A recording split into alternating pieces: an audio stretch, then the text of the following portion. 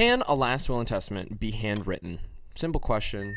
I want to write my last will and testament There is a by scroll. whole subset of law about this. It's called holographic wills. If you can show that this was that person's handwriting, then it that helps prove that it's valid. Gotcha. Um, and, and that was especially important back before things like computers. Yes. Right? Um, back when you couldn't type something, right? It had to be handwritten. Right. Um, most states now, you you can do a holographic will, but it still has to follow all the same formalities that you would have to do for a typed will. Yes. What would some of those formalities like be? two- Just Two, like- Two witnesses. So in Georgia, Gotcha. two witnesses that are disinterested. Exactly. Which means they're not inheriting under the under the will. Yeah. So so it used to be if you, you could write your own will and sign it, and you wouldn't need any witnesses, you wouldn't need anything like that. You could just stick it in your safe, and then they find it like, oh yeah, this is this is this is Bob's handwriting, and he signed it. This is his will. It's a holographic will. Yeah. But but now they, they don't do that as much. Wasn't there a story about?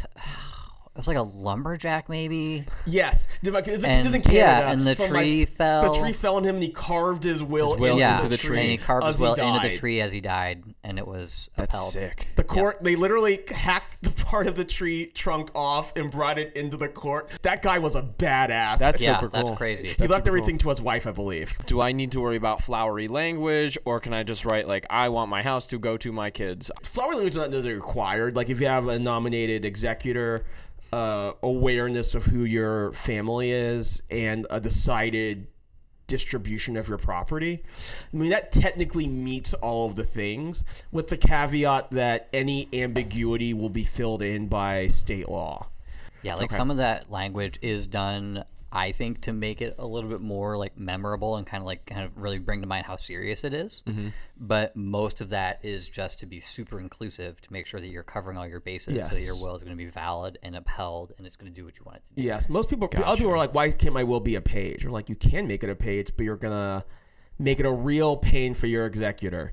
Yeah. So, a, a, re, a an average of basic will is probably between four and seven pages. From really between maybe three to seven pages for most people, if you want to cover all the things you need to cover. If the heirs are kind of cool with it, like uh, a handwritten one-page deal or even an email seems like it's probably okay. All the all your heirs agreeing not to okay, it is makes a lot of things go better.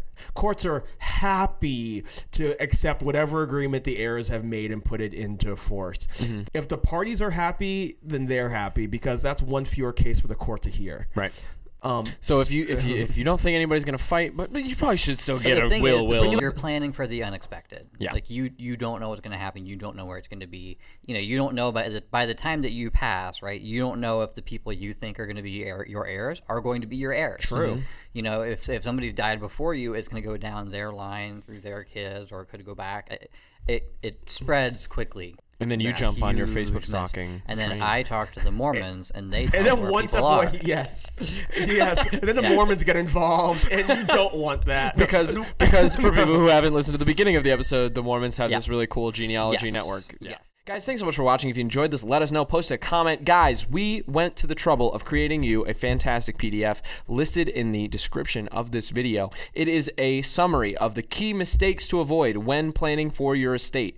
Um, you can go get that. Stephen and James both wrote it together, and it is a summary of all of the mistakes they've seen people make as they think about estate planning. Don't make those mistakes. Your family is the ones that's going to pay for it, and they're not going to like you very much. So that's how you go and avoid them. Click the link in the description. You can get that PDF. It's absolutely free. You're welcome. We're so generous. Guys, thanks so much for watching. If you would like us to plan your estate, give us a call 404 939 7562 or visit us on the web modernestateplanning.com. Thanks so much for watching. Have a great day.